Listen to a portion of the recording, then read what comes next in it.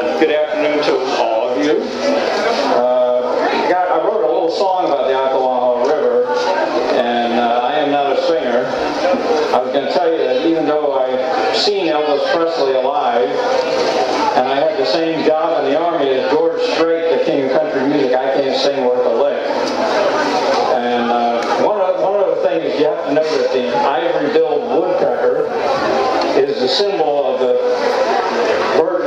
virgin of the South, of the American South. So there's a little bit about the bill on the end song, but I guess they're making me read it first. So, like I said, I'm not a singer, but here's how it goes. It goes something like this, and hopefully you can hear the words. Uh, crooked river, big old trees, Ocklawaha, set her free. That crooked river with them big old trees, the Ocklawaha, let's set her free. Silver Springs to that St. John's wide, a 56 mile canoeing ride. She lost her freedom at Rodman Dam. Blocking striped bass wasn't nature's plan. Crooked River, big old trees, Ocklawaha set her free. That crooked river with them big old trees, the Ocklawaha, let's set her free.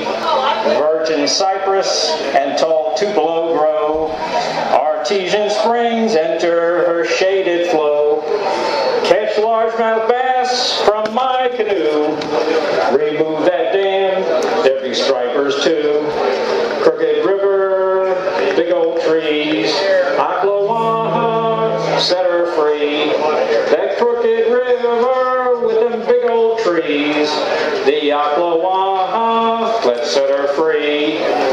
Bellowing gators and Drakewood ducks. Wild hogs, turkeys, and whitetail bucks. Manatees, black bears, and sandhill cranes. Wrecking river water runs through my veins. Crooked River,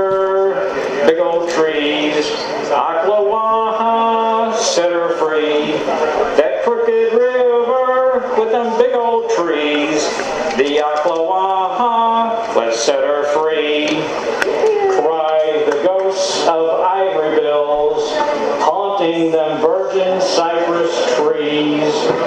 The Ocklawaha, let's set her free. Thank you very much. Thank you, thank you everyone. You're retired, so doesn't he have to keep his day job? Thank you. I'm no parade. That's his first stage performance. I'm no George Strait.